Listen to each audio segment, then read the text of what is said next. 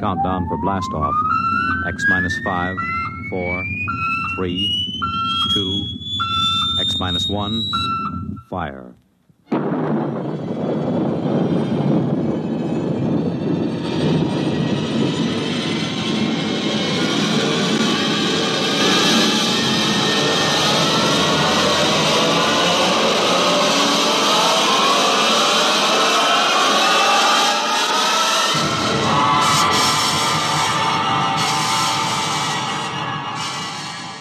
The far horizons of the unknown come tales of new dimensions in time and space.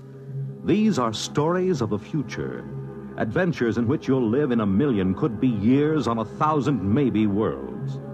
The National Broadcasting Company, in cooperation with Galaxy Science Fiction Magazine, presents X, X, X, X, X minus, minus, minus, minus, one, one, one, one.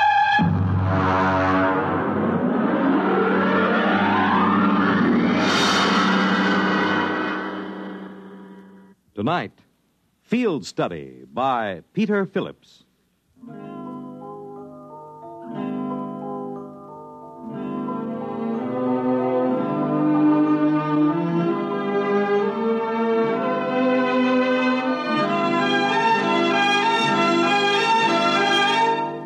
You might put down that newspaper for just a minute, Frank. Hmm? Oh, of, of course, dear. See, this is good coffee, honey. Now, what is it going to be? That's what I want to know. Overtime or that big night out you promised me? Well, I just can't say for sure, honey. Uh, I'll phone you during the day. Look, you've been working on that Mitchell embezzlement for three months, day and night. Now that it's over, I think you'd want to celebrate. Well, I do, dear, I do, but I don't know just what this new assignment will involve. Oh, this is it. This is absolutely the end. You can change your job or change your wife, Frank. Oh, no, I thought I married a man, not an accounting machine.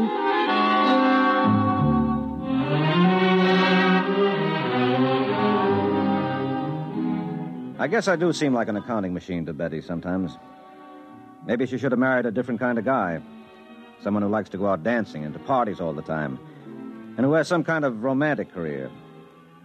The quiet life she had with me made her tense and nervous. No, more than that. Neurotic. Actually, the work I did was rather interesting, although she didn't feel that way about it. Being an investigator for the accountancy branch isn't exactly like being one of those detectives as smart as Einstein and as tough as Marciano, but we do get into some unusual situations. And now there was this new assignment the chief had given me. All I want you to do is see him, Frankie. You can be normally curious, but that's all. If you question him, make it simple. And if he gets cagey, cut it out. You're not going as an agent. You're just an errand boy. Take what he hands out and bring it back. Get on it right away.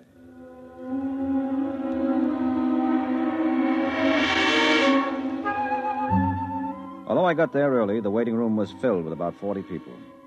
40 people who seemed to have everything from Parkinson's disease to muscular atrophy. In 40 years, I'd never had anything wrong with me but a postnasal drip, but I was prepared with the symptoms of an obscure ailment. I didn't have an appointment, but I had hardly sat down when the receptionist came over and ushered me into the office. I'll be with you in just a moment. Please sit down. Well, thank you. This is good of you, Doctor, but I was perfectly willing to wait my turn. Oh, I'm entitled to use my own discretion. You're an interesting case. And please don't call me doctor. In the healing profession, that title is reserved for those who have taken the Hippocratic Oath. My name is Trancor. You said uh, I'm an interesting case. How do you know about my case? You've never seen me before. My receptionist has intuitive diagnostic ability. Now, what are your symptoms? It seems you should be able to tell me. Well, let's say the recital is part of the treatment. But if you'd rather not bother, just take this capsule in water. But this is ridiculous. How do I know? You don't. I make no claims. You can take the capsule or leave it. How many tokens, uh, I mean, uh, how much money do you have with you? Now, listen, Doctor. No, I'm not a doctor. How much? Oh, about $50, I suppose. Well, give me 25 for the capsule, which you take on faith, if you take it. Well, All right, I'll take it.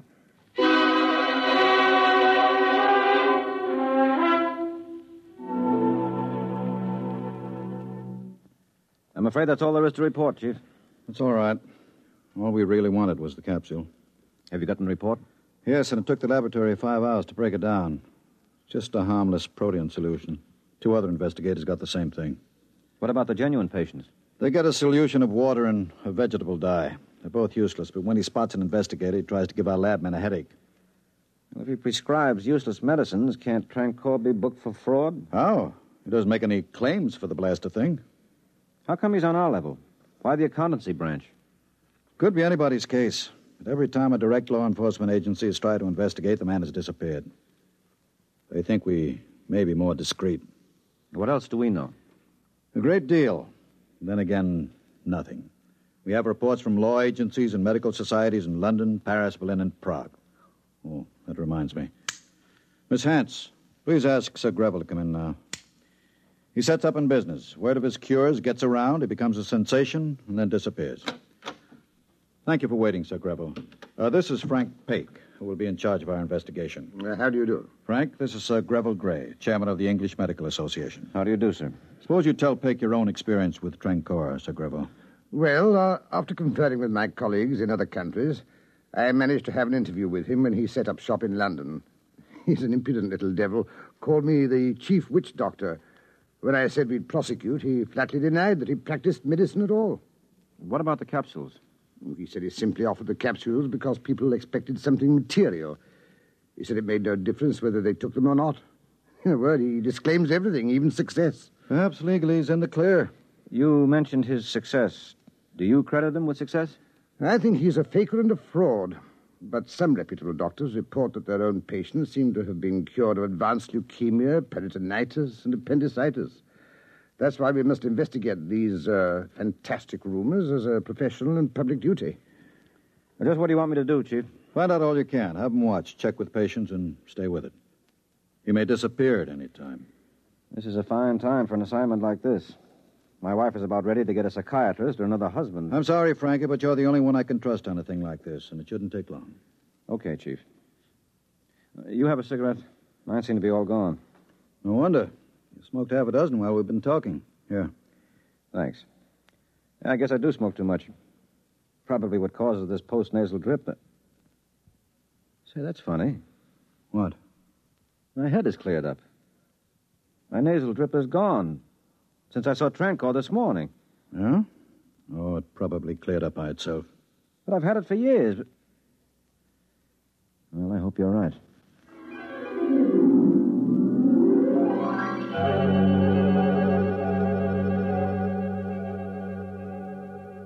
Oh, look, sweetheart, I know I practically promised, but I can't make it tonight. I've been hearing that over and over. But, darling, this is a special case. It's detective work.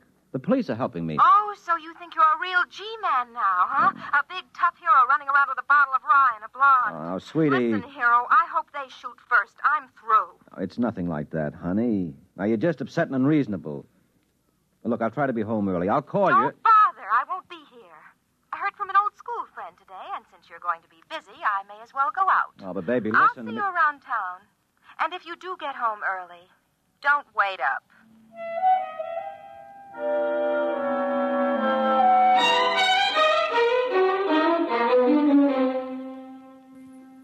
Was alone in the office all evening, thinking about Betty, thinking about Trancor. I remembered Betty's crack about a bottle of rye. So I called the liquor store and had them send up a pint. Every now and then I got a call from a detective saying they were still watching the office. Then there was a call from another detective saying that he had picked up Trancor at the entrance of the office building and trailed him to a hotel just off Broadway. I took down the number and was about to leave when the first detective called again. He said they were still waiting at the office door and that there was still no sign of Trancor. I didn't try to explain. I didn't want to think about it. What could I say? That he flew out the window? I took another drink of rye and went to the hotel. As I got there, a figure came out of the building.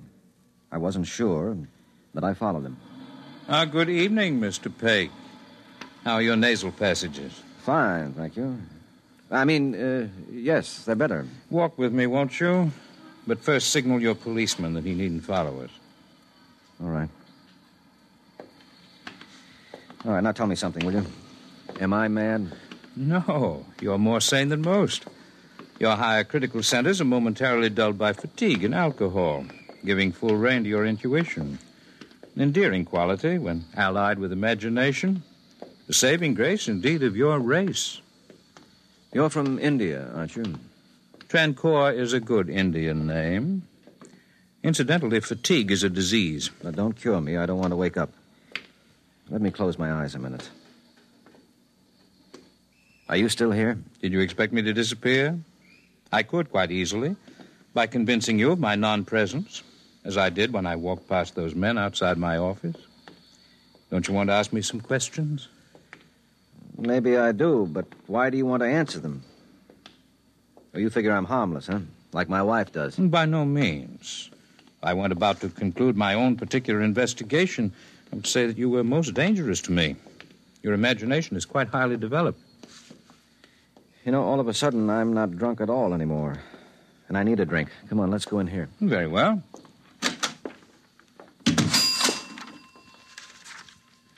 A double rye, please. The same. Oh, uh, just leave the bottle.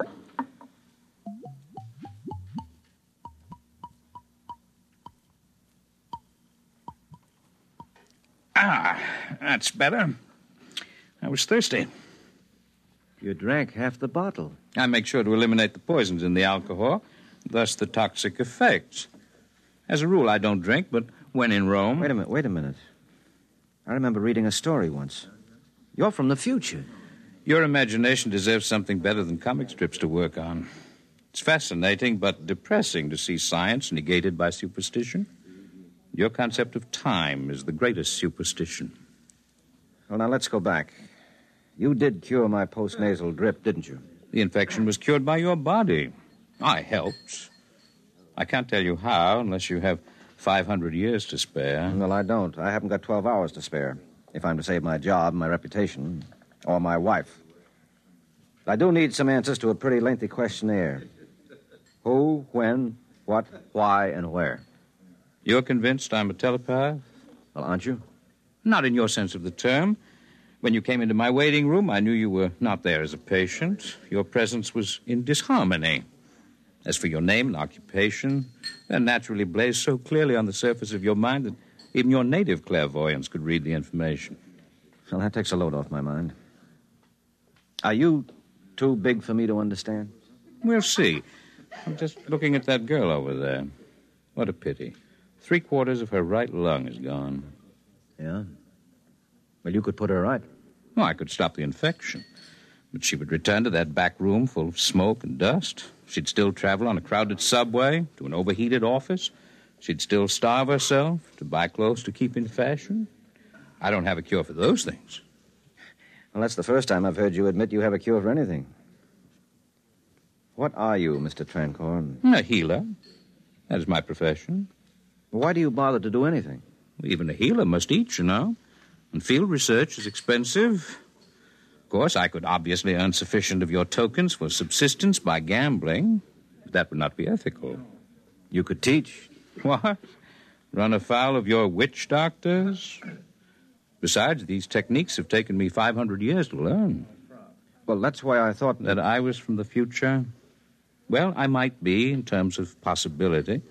We are no older than you are as a race, in terms of universal evolution, but as individuals, we are longer lived. The biggest single advance you will make as a race will be when you increase the lifespan of the individual. You could help us. We could, but that must be achieved by your own efforts. Are we so contemptible in your eyes? Of course not. Would we study you if you were? Our architects, our musicians, even our fiction writers do field work in this territory and write scholarly theses when they return. Anthropology, in our sense of the term, embraces all the arts and sciences. We're scholars. Occasionally, we innovate, and you benefit. Why do you want to tell me this? Frankly, I like you. You have imagination enough to control your terrestrial chauvinism, your natural resentment of being studied. It may comfort you to know that in the physical sciences, your race is considered quite well advanced. Well, thank you. And come to think of it, I do resent being a bug under your microscope. I hate it. I could kill you. But you won't. Others would. Now you understand why our visits are unannounced. Will be until all men are as essentially civilized, that is to say, non aggressive, as you are. How do you come here? I know what you're wondering. But no, no, I don't have a spaceship garaged anywhere. You see, we don't travel. We, um, we arrive. Afraid the distinction is not clear to you, but it'll have to do. Now, I must go to work. I have only eight hours. Will you be my guide? What do you want to see? The city at play in the pre dawn hours. I think my wife would suit you better in the role of a guide. She's playing pretty hard right now. And this situation makes you unhappy? Well, yes, of course it does. I guess I'm not overly emotional, but I do love Betty. I want her to be happy. With me. Oh, she frets and nags, and she's hard to please, but she's not really like that. She keeps herself busy with trivial things. It's as if she were afraid of important things. And what are the important things? Well, I don't know exactly. Uh, helping people some way or other, I guess. You have any idea where your wife might be? Well, there are a couple of nightclubs she likes. Mm, could we go there a little later? No, don't worry. I promise there'll be no unpleasant consequences if we meet. But now, let's get going.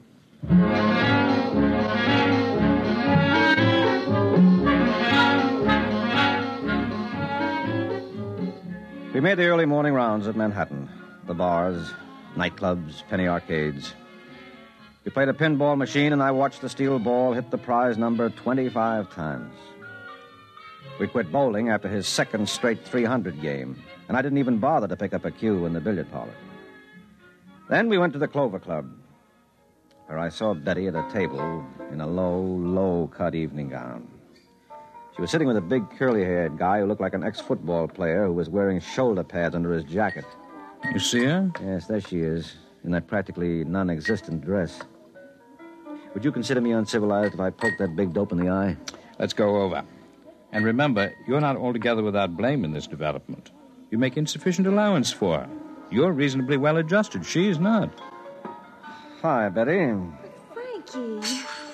Frankie, where did you come from? Who's your friend? Excuse me, please. Uh, I have to make a phone call. I think I have Frankie, please get me a cab so I can go home.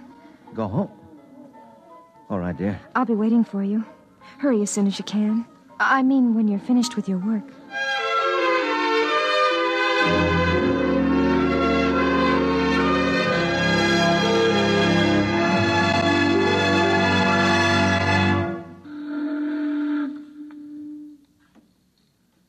It's beautiful here, watching the lights on the river.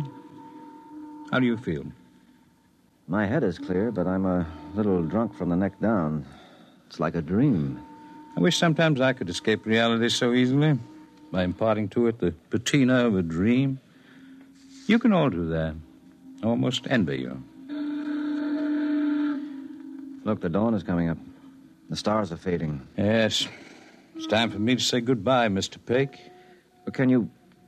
Can you at least tell me which star? You haven't seen it or named it yet. Promise to take care of Mr. Trancor for me, won't you? Make sure that he gets safely home. Find his address in this pocket. Goodbye, Mr. Trancor. Yes. Goodbye.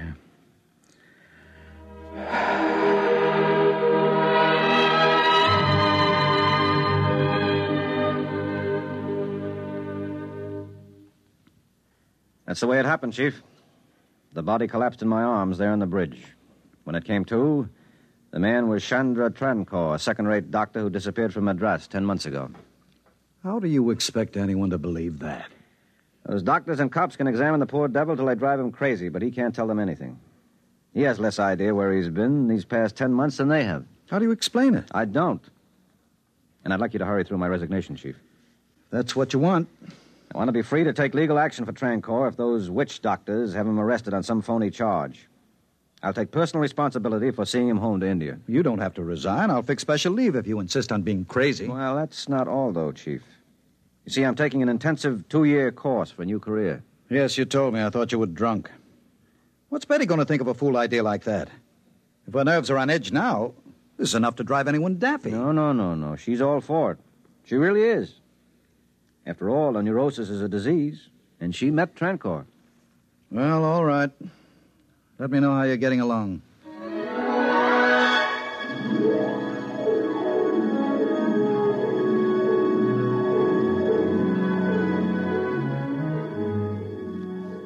A letter from Pake, Miss Hans. Hmm. From the Mabello medical mission up at Congo. Hmm. It's been three years since we heard from Pake. This is probably the most backward tribe mentally and physically in all Africa. Some trouble with the witch doctors at first, but they're beginning to trust me, with Betty's help. The women here love her, and she finds the tribal customs fascinating. Watch out for my name in the Anthropological Review.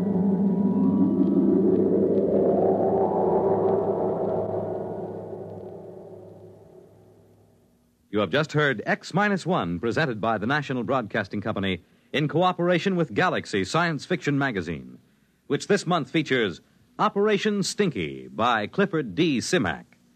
What is man's best friend? The answer was so vital that every possible resource that could be found had to be poured into this one great project. Galaxy Magazine, on your newsstand today. Tonight, X Minus One has brought you Field Study, a story from the pages of Galaxy written by Peter Phillips and adapted for radio by Jack Wilson. Featured in our cast were Teri Keane, Les Damon, Santos Ortega, Alfred Shirley, and Kermit Murdock. Your announcer, Fred Collins. X Minus One was directed by Daniel Sutter and is an NBC Radio Network production.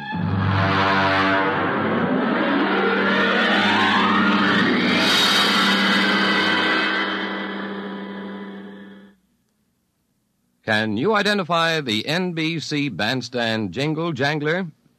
He or she is a famous personality, and you may win a $1,000 if you can identify him. To enter the NBC Bandstand Jingle Jangler contest, send a postcard with your name and address and phone number to NBC Bandstand, Box 515, New York, 19, New York. Enter today. NBC takes you across the nation, around the world, with news on the hour and the hotline service all day, every day on most of these stations.